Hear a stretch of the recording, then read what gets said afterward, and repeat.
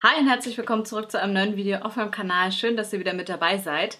Heute habe ich wieder ein Beauty News Video für euch. Also ich gehe mit euch ein paar Neuheiten durch, die in den letzten Wochen auf dem Beauty Markt erschienen sind, beziehungsweise angeteasert wurden, die es demnächst geben wird, je nachdem.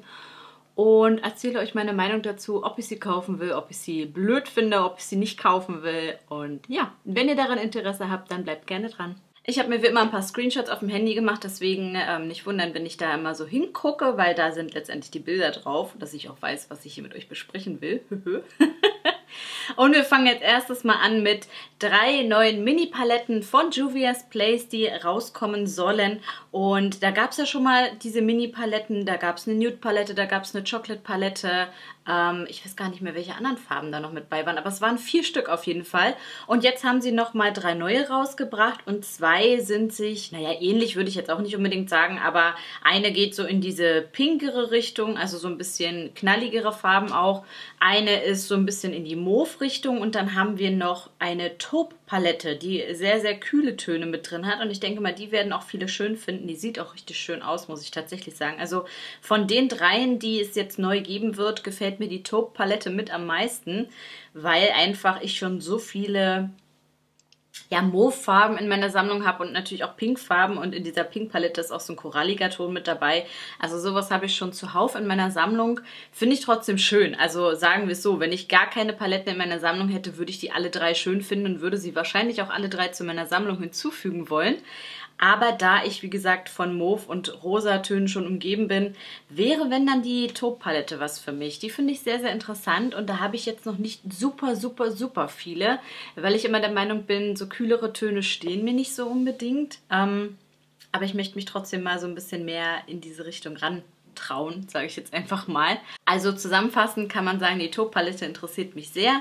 Die anderen beiden, dadurch, dass ich sie halt schon sehr häufig in meiner Sammlung habe, nicht unbedingt. Ähm, qualitativ war ich ganz zufrieden mit diesen Mini-Paletten, die ich ähm, von Juvia's Place hatte. Die wurden mir zugeschickt von Purish. Ich denke mal, die wird es auch wieder bei Purish geben.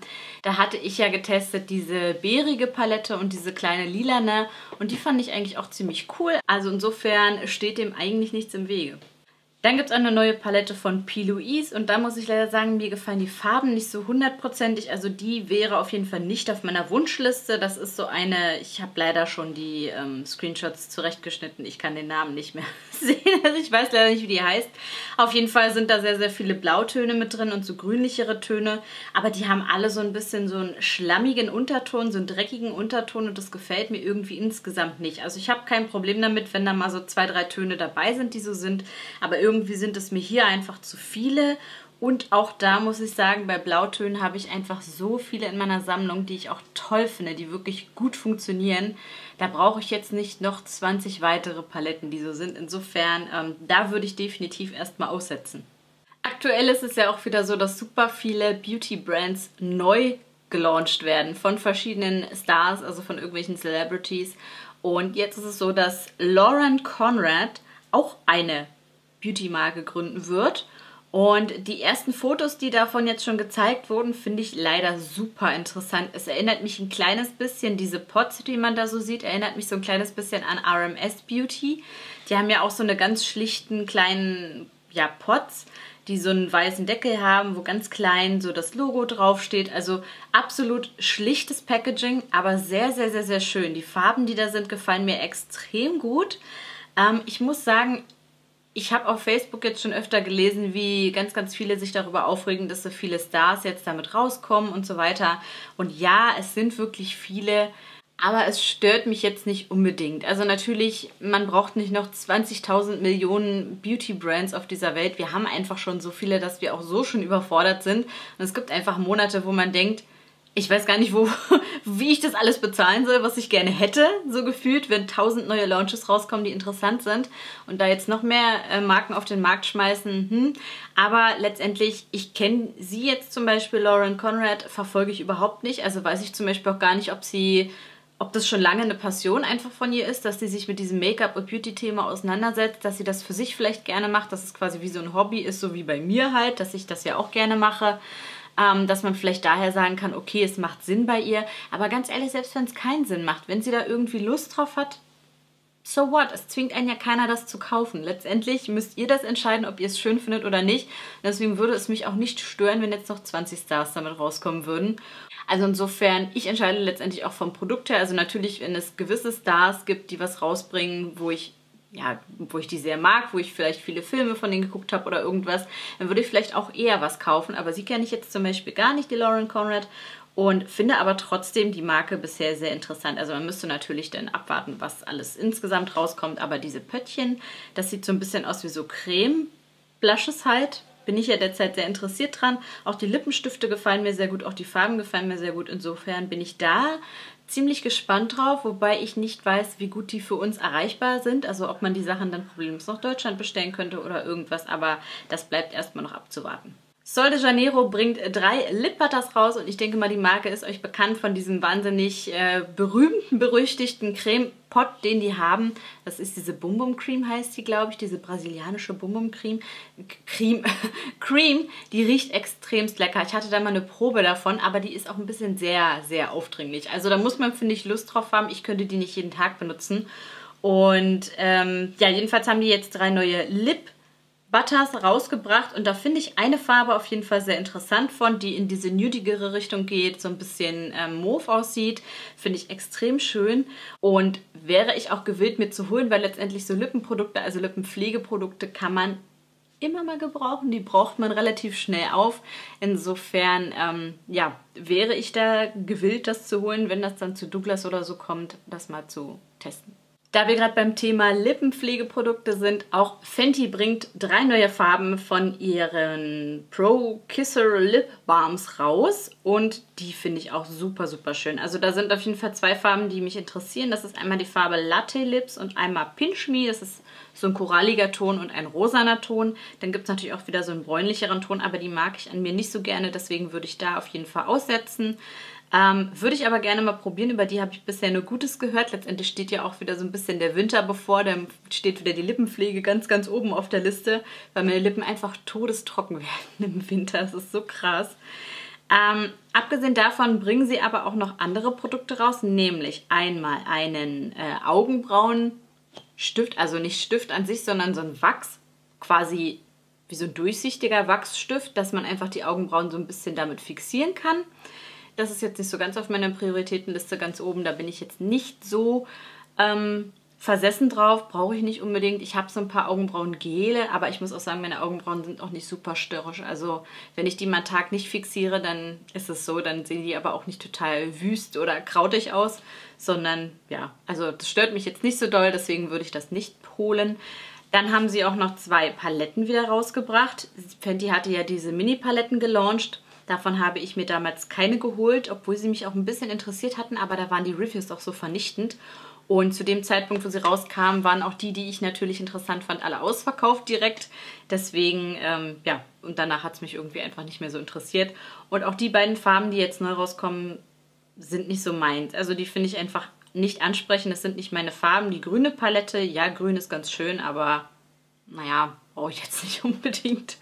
Und die anderen Farben sind mir auch wieder ein bisschen zu, ich will nicht sagen langweilig, aber ähm, ist jetzt einfach nichts, was mich wahnsinnig doll reizt. Ich bin derzeit sowieso so ein bisschen übersättigt. Also ich habe das Gefühl, von den ganzen neuen Launches, die rauskommen, will ich gefühlt gar nichts haben. Also es gibt wirklich ganz, ganz wenig, was mich da interessiert derzeit. Aber vielleicht liegt es auch einfach wieder so am Sommer, dass ich so ein bisschen so eine Schminkflaute habe, weil es einfach viel zu heiß ist, um sich zu schminken. Ähm, ja, ich werde sehen, wie es sich im Herbst entwickelt, aber aktuell bin ich den meisten Launches gegenüber so ein bisschen so, mm, nee, muss nicht sein. Pat McGrath hat eine neue Collection rausgebracht. Unter anderem ist da auch eine kleine Lidschattenpalette bei und da ist das Packaging einfach so unfassbar schön. Ich liebe das Packaging von Pat McGrath. Die macht das so, so, so, so schön. Und vor allem ähm, sieht diese Mini-Palette vom Packaging so aus wie die aus der Star Wars Collection und nicht wie die anderen, die sie sonst hatte, wo man das immer so also hier die Palette und dann musste man das so zweimal zuklappen, was die Palette unnötig fett gemacht hat. Und in der Star Wars Collection hatte sie es ja hingekriegt, dass sie das nur einmal so gemacht hat, ähm, was deutlich dünner war und ein bisschen praktischer. Und so sieht die Packung jetzt auch wieder aus. Also ich hoffe, sie behält das bei. Das gefällt mir nämlich tausendmal besser. Ähm, abgesehen vom Packaging, der Inhalt, ja, ist ganz hübsch, aber auch nicht alle Farben. Also da sind wieder so zwei, drei Töne dabei, wo ich mir denke, ja, die wären ganz schön. Zum Beispiel dieser wahnsinnig schöne, helle, rosane Ton. Ähm, andererseits, die habe ich natürlich auch schon ein paar Mal. Der goldene Ton ist auch total hübsch, aber Gold habe ich auch schon zuhauf. Also da werde ich nicht zuschlagen vorerst. Ähm, die ging auch schon online, das habe ich schon mitbekommen. Ähm, ich weiß gar nicht, ob die jetzt aktuell vielleicht ausverkauft ist oder nicht, aber da habe ich jetzt nicht zugeschlagen bei der Collection, generell bei gar nichts davon. Denn da kamen auch neue Lippenprodukte raus.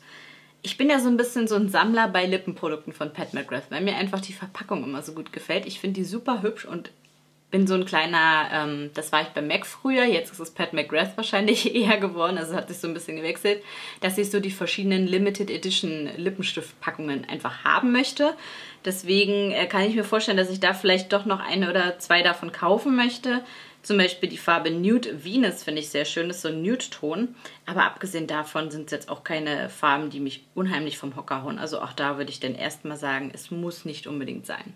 Dann endlich mal weg vom Lidschattenthema. Es gibt einen neuen Brow Pencil von Benefit, nämlich den Brow Microfilling Pen. Und den habe ich tatsächlich schon da, weil der mir zugeschickt wurde von Benefit. Das ist dieser hier, den habe ich auch heute benutzt. Den habe ich auch im Urlaub jetzt ein paar Mal benutzt, wo ich die letzten Tage an der Ostsee war. Und da war ich auch auf das Online-Launch-Event eingeladen von Benefit. Also das war tatsächlich auch mein erstes Launch-Event und überhaupt mein erstes Zoom-Meeting. Ich war so ein bisschen nervös davor, aber es war echt ziemlich cool.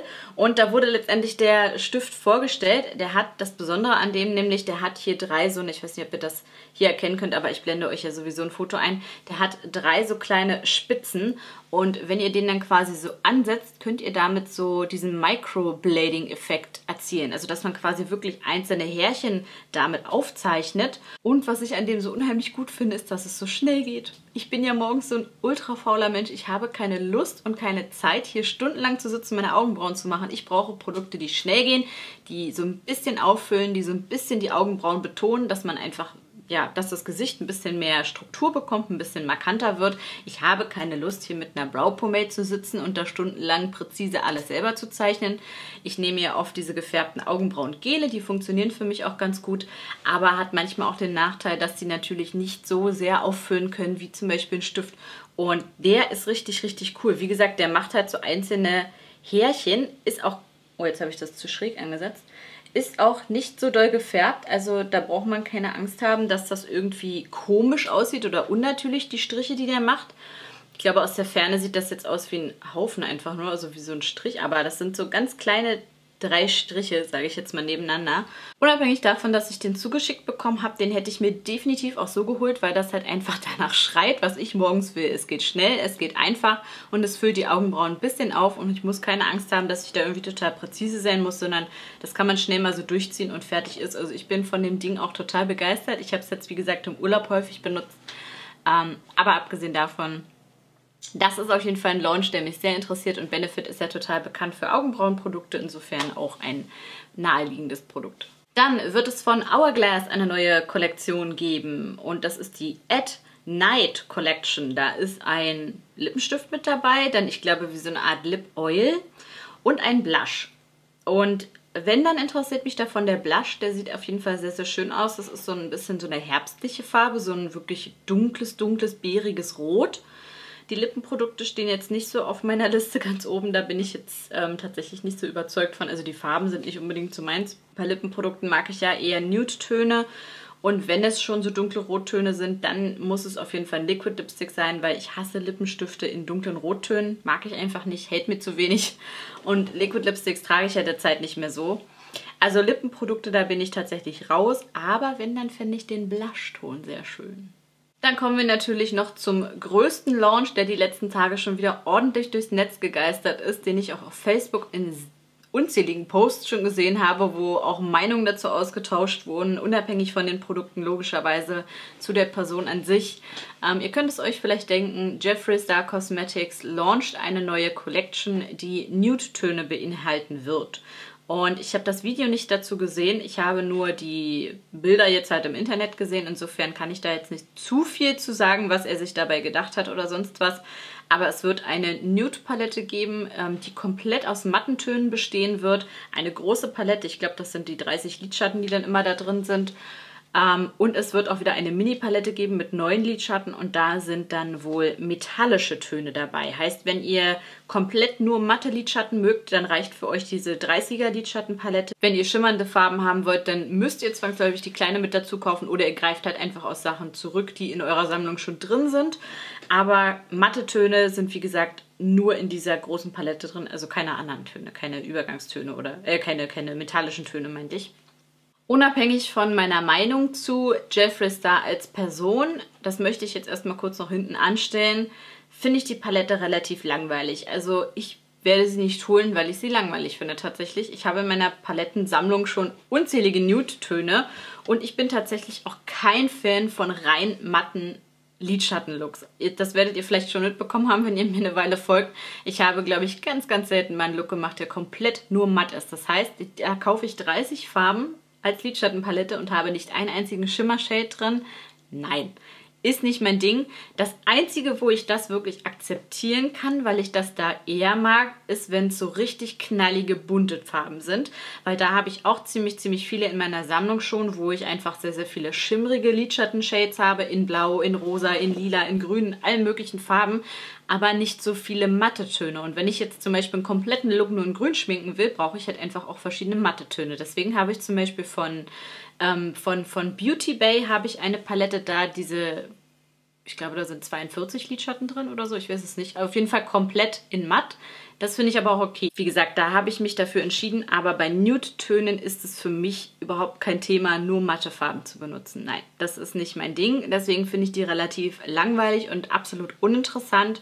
Und dann noch dazu diese 9er Palette gefällt mir auch nicht wirklich, diese metallischen Farben. Natürlich, da sind zwei, drei drin, wo ich sagen würde, okay, aber die große Ansicht ist mir an sich ein bisschen zu dunkel. Also dieser Rotton in der Mitte, den würde ich zum Beispiel nie benutzen und auch links unten und rechts unten die beiden dunklen Töne wahrscheinlich auch einfach nicht. Insofern wären die auf jeden Fall für mich raus. Dann launcht er dazu auch noch neue Liquid Lipsticks. Ich weiß ehrlich gesagt nicht, ob die neu sind. Das, wie gesagt, ich habe das Launch-Video dazu nicht geguckt. Auf jeden Fall gibt es Liquid Lipsticks dazu und Lipglosse. Lipglosse ist immer so ein bisschen die Sache, da bin ich sehr, sehr großer Fan davon. Ich muss tatsächlich auch sagen, qualitativ fand ich seine Lipglosse auch immer gut. Also das ist auf jeden Fall was, wo ich nicht meckern kann.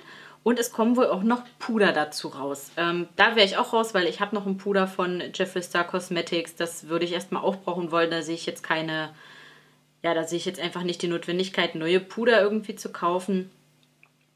Und ganz abgesehen davon aber, also das Einzige aus dieser kompletten Kollektion, was mich irgendwie interessieren würde, wären, wenn dann die Lipglosse. Aber da sage ich mir, ich habe auch mittlerweile schon so viele schöne Glosse, dass das nicht unbedingt mehr sein muss. Und jetzt kommt auch noch das große Aber dazu. Ich habe mich dazu entschieden, Jeffree Star nicht weiter zu unterstützen. Das heißt, ich werde auch seine Produkte nicht mehr kaufen und auch nicht mehr reviewen.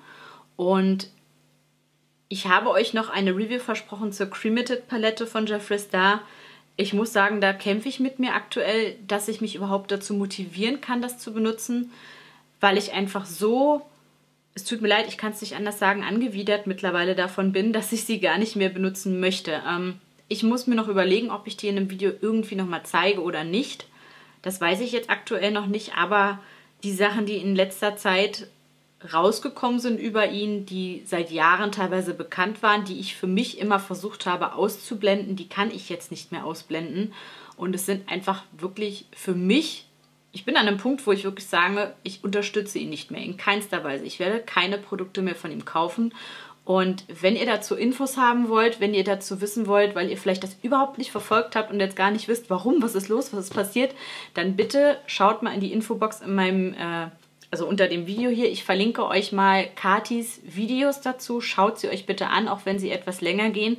Super informativ, super gut aufgearbeitet und spiegelt eins zu eins meine Meinung wieder. Ich kann das so unterschreiben, sage ich jetzt mal, was sie sagt. Ich habe mich auch, bevor sie diese Videos überhaupt online gestellt hat, lange mit ihr darüber ausgetauscht, über das Thema. Sie hatte mich mal in einem... Ähm, FaceTime-Anruf, also wir hatten mal telefoniert und da hatte sie mich mal auf ein Thema angesprochen, wo ich überhaupt nicht wusste, was dahinter steckt und hat mir dann auch Videos dazu geschickt, die ich mir alle angeguckt habe und dann habe ich auch noch selber dazu recherchiert und das sind wirklich Sachen, wo ich sage, es geht für mich nicht mehr. Gott sei Dank finde ich diese Kollektion, wie gesagt, auch super langweilig. Also da habe ich überhaupt keine Probleme mit mir selber dazu sagen, ich möchte nicht mehr, sondern das, das fällt mir wirklich leicht, das zu sagen. Das Problem so ein bisschen wird natürlich in Zukunft sein. Ich fand seine Produkte ja teilweise immer sehr gut. Also die meisten, gerade Lidschattenpaletten, gab es einige, die mich wirklich begeistert haben. Und das wird wahrscheinlich in Zukunft auch mal noch schwer werden für mich. Aber wenn ich mir dann einfach vor Augen führe, der Mensch, der dahinter steht, hat in seinem Leben einfach viele Entscheidungen getroffen, die ich nicht unterstützen möchte mehr in Zukunft. Und deswegen ähm, ist das für mich ein leichtes, das zu sagen. Und ich weiß, dass auf Facebook sehr, sehr viele Diskussionen zu diesem Thema kursieren. Ähm, es werden in den Beiträgen auch immer wieder Kommentare dazu abgegeben, dass man ja die Produkte kauft und die anderen Marken haben ja auch alle Dreck am Stecken und ich kaufe ja die Produkte, weil ich die gut finde und nicht den Menschen dahinter. Mag sein, das ist eure Meinung oder das ist die Meinung von Leuten, die ich jetzt auf Facebook, wie gesagt, gesehen habe. Meine Meinung dazu ist halt eine andere. Sicherlich haben manche Marken auch Dreck am Stecken. Man weiß nicht immer alles von den Leuten. Das ist einfach so. Und auch bei Jeffree Star habe ich eine lange Zeit drüber hinwegsehen können. Aber jetzt nicht mehr. Es sind einfach für mich Sachen offenbart worden, die ich nicht mehr ignorieren kann und möchte. Und deswegen ist das meine Meinung und das wird sich in Zukunft auch nicht mehr ändern. Insofern, ja, wird es von mir keine Videos mehr zu den Jeffree Star Produkten geben. Themenwechsel. Es gibt eine neue Palette von Be Perfect. Das ist die neue Carnival Palette und ich liebe ja die Carnival Palette, die sie ursprünglich mal rausgebracht haben. Ich wollte mir tatsächlich auch mal die Carnival XL Pro, ich weiß gar nicht mehr so richtig, wie die heißt, kaufen. Also die neuere, größere davon. Ähm, und die neue sieht jetzt aber, finde ich tatsächlich, der wieder sehr ähnlich. Also es sind halt sehr, sehr viele bunte Farben und Be Perfect kann das wirklich gut. Aber ich muss leider sagen, dadurch, dass ich halt schon eine Palette dieser Art habe, brauche ich die nicht unbedingt. Ne? Also natürlich sind da nicht alles eins zu eins die gleichen Farben drin, aber ich sehe viele Ähnlichkeiten und muss tatsächlich sagen, dass ich wahrscheinlich darauf verzichten werde, obwohl ich mir vorstellen könnte, dass ich eventuell meine alte Be Perfect Palette abgebe und mir die neue dafür hole, weil die ist halt auch super, super schön und da sind mehr Farben drin. Und in der ganz, ganz alten Be Perfect Carnival Palette sind ja nicht so viele Farben drin gewesen. Also das wäre vielleicht der einzige Deal, den ich mit mir selber machen könnte sozusagen, aber ich werde die nicht zusätzlich noch kaufen, weil das ist einfach, das tut einfach nicht Not bei mir. Ich habe so viele schöne bunte Farben, wie gesagt, in der ersten Palette schon drin davon. Heißt, das brauche ich nicht unbedingt. Und einen aller, aller, allerletzten Screenshot habe ich noch auf meinem Handy, nämlich von Colourpop wird es eine neue Kollektion geben, die Candyland Collection. Und die sieht total süß aus. Ich finde das Design richtig, richtig hübsch. Die geben sich ja immer total viel Mühe dabei. Da haben wir auch wieder eine Lidschattenpalette dabei, die jetzt auch mal so ein, ich sag mal, Standardformat hat, also so ein bisschen rechteckiger und nicht, was Colourpop ja sonst immer gemacht hatte, diese Neuner-Paletten zum Beispiel. Also die Form ist jetzt so ein bisschen mehr Standard, würde ich einfach sagen. Die Farben sind ganz cute da drin, aber auch leider nichts, was mich vom Hocker haut. Also da würde ich auf jeden Fall auch aussetzen, auch wenn mir das Design total gut gefällt. Und dann gibt es noch so ein paar andere Produkte mit in der ähm, Collection, wo ich ehrlich gesagt gar nicht so richtig weiß, was das alles sein soll. Also das eine sieht aus wie so ein, vielleicht so ein Bodypuder oder sowas, weil da so ein riesiger Powderpuff mit dabei ist. Ähm, und das sieht aber auch so ein bisschen Highlighter-mäßig aus. Also ich kann mir nicht vorstellen, dass man das als komplettes Gesichtspuder nimmt. Und dann gibt es auf jeden Fall zum Beispiel auch noch Lipglosse. Die finde ich eigentlich ganz süß und Lippenstifte auch. Aber es ist leider alles nichts, wo ich sagen würde, die Farben sind so toll, dass ich sie unbedingt haben will. Also auch das gibt es äh, in meiner Sammlung schon zuhauf. Da sind wir wieder beim Thema, was ich vorhin sagte. Aktuell interessiert mich einfach nicht so viel an Make-up. Ich hoffe, das wird zum Herbst wieder anders. Aber auf jeden Fall verpackungstechnisch ist Colourpop wieder ganz oben mit dabei. Also das finde ich mega, mega süß einfach. So ihr Lieben, dann sind wir mit dem Video tatsächlich auch schon fertig. Schreibt mir mal in die Kommentare, was eure meist erwünschtesten Launches sind, also worauf ihr euch am meisten freut, wo ihr unbedingt zuschlagen wollt. Das würde mich extremst interessieren. Und kommentiert mir auch mal, ob es euch ähnlich wie mir geht, dass ihr derzeit gar nicht so viel Lust auf Make-up habt, also euch die ganzen Launches nicht wirklich so interessieren. Lasst mir auf jeden Fall einen Kommentar dazu da. Ähm, ich hoffe ihr sehr, das Video hat euch gefallen. Lasst mir gerne einen Daumen nach oben da und wir sehen uns dann hoffentlich auch beim nächsten Video wieder. Bis dahin, macht's gut!